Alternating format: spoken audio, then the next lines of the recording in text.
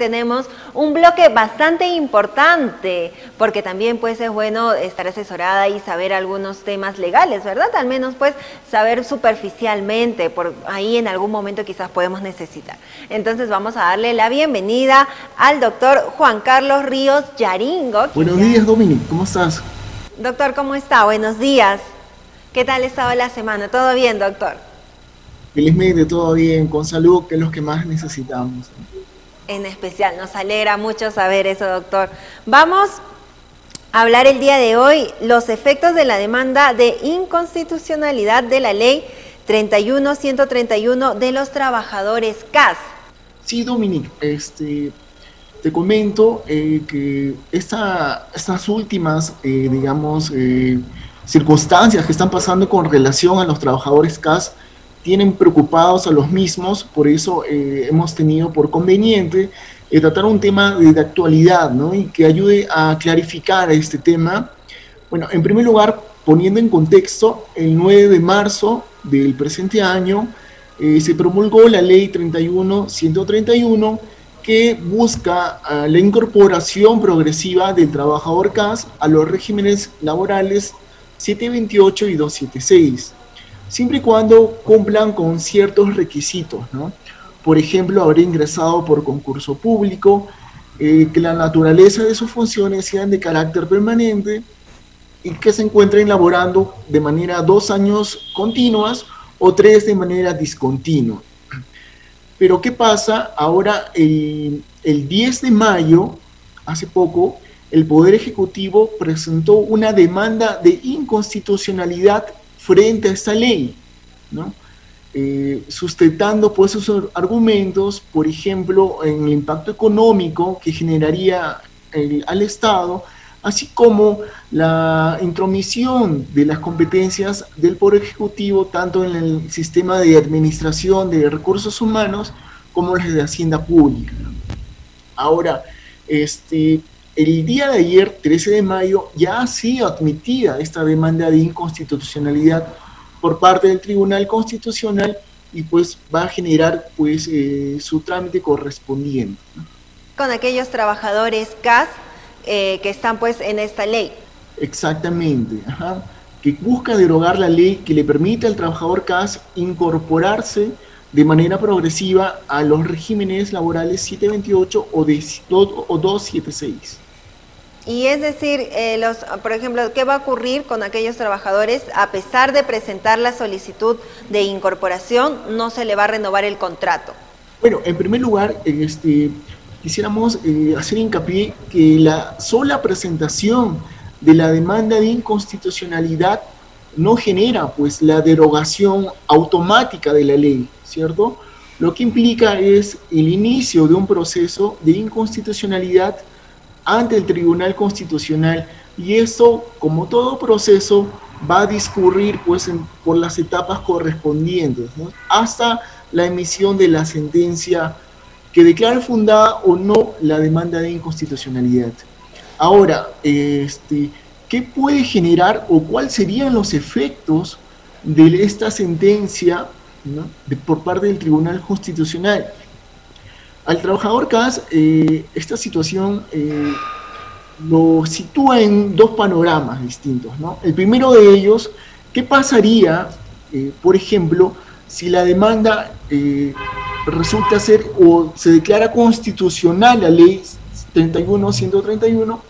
Pues aquí este, el trabajador, la ley va a continuar vigente y la incorporación va a ser progresiva, como señala la misma, siempre y cuando el trabajador CAS cumpla con los requisitos exigidos. Pero ¿Y cuáles la son los requisitos posición que se más controversial, la posición es, más controversial es en el caso que la sentencia declare inconstitucional la ley 131-131. ¿Qué pasa en, este, en este panorama, bajo esta, pues, bajo esta óptica? bajo, en caso que declaren inconstitucional la ley, eh, esa ley ya no va, es como si la estuvieran eliminando del ordenamiento jurídico, ¿no? Y va a tener efectos hacia futuro, no va a tener efectos retroactivos. Esto es muy importante porque porque al no tener efectos retroactivos, el trabajador CAS, desde la entrada en vigencia de la ley hasta su derogación o hasta que la declaren inconstitucional la misma, se va a generar un periodo, ¿no? Y este periodo eh, es como una situación jurídica en favor del trabajador CAS, que le va a permitir, digamos, acceder a los beneficios contemplados en la norma, ¿sí? A pesar que la sentencia la declaren inconstitucional. Repito, esta sentencia no tiene efectos retroactivos, tiene efectos hacia futuro. Y el trabajador no se va a ver afectado durante el periodo de vigencia, desde el día siguiente de su promulgación, es decir, del 10 de marzo hasta la fecha, pues en el caso que sea declarada inconstitucional la misma. ¿Y cuáles son los requisitos que le van a estar pidiendo a estos trabajadores para realizar el cambio? Disculpa, Dominic, no te pude escuchar. ¿Me puedes repetir la pregunta? Ah, ahora, ¿me escucha, doctor? Sí, sí, sí te escucho. Por favor. Bueno, usted ah, nos, nos, explicaba que aquellos trabajadores eh, que están pues en esa ley van a tener que presentar algunos requisitos, ¿verdad? Entonces, ¿cuáles son esos requisitos que les van a pedir a estos trabajadores?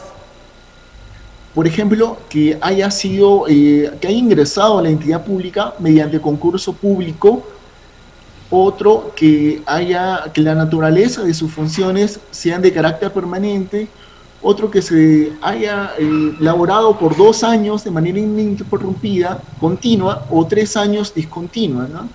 Ahora, estos requisitos, una vez cumplidos, el trabajador, la recomendación es que lo presenten mediante una solicitud ante la entidad para que, eh, digamos, haga efectivo su derecho, ¿no? plasme bajo el derecho de petición, lo presente ante la entidad para que la entidad tome en cuenta ese pedido.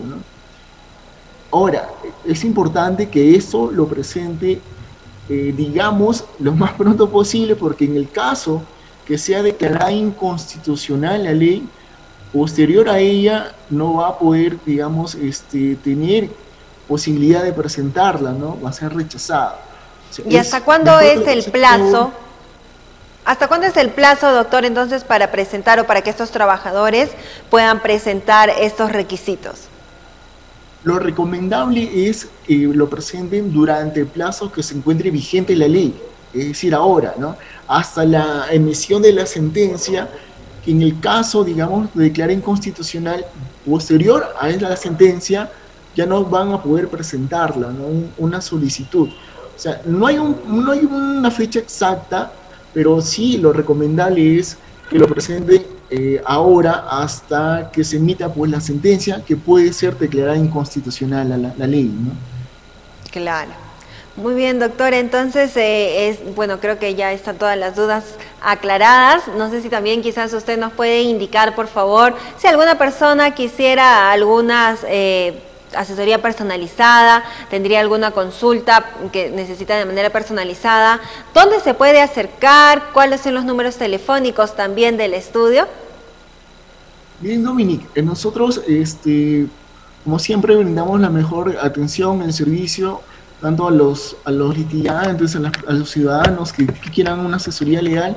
Nosotros nos pueden ubicar en el Girón Trujillo, número 308 del Tambo, Huancayo, y pueden contactarse pues a los números 966-923-413 y pues eh, con todo el mayor eh, profesionalismo podemos acompañarlos en esa nueva, digamos, este, propuesta que, que, establece la incorporación de los trabajadores CAS a los regímenes laborales, tanto 728 y 276, y que adquieran una, un, un trabajo de naturaleza permanente, ¿no? que es lo que se busca.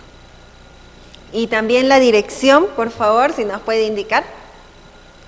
Claro, os vuelvo a repetir, la dirección es el Girón Trujillo, número 308, el Tambo Huancayo. Muy bien, entonces en Girón Trujillo 308, ya saben que si ustedes también pues tienen eh, alguna consulta que les gustaría que sea de manera personalizada, pueden acercarse en el estudio BIB de abogados, no tan solamente eh, pues están también los abogados, también tienen eh, conciliación, ¿verdad? Sí, sí, Dominic. También, este, bueno, nuestro staff de abogados, contamos con abogados en materia civil, en materia penal, en materia laboral y también eh, contamos con un centro de conciliación.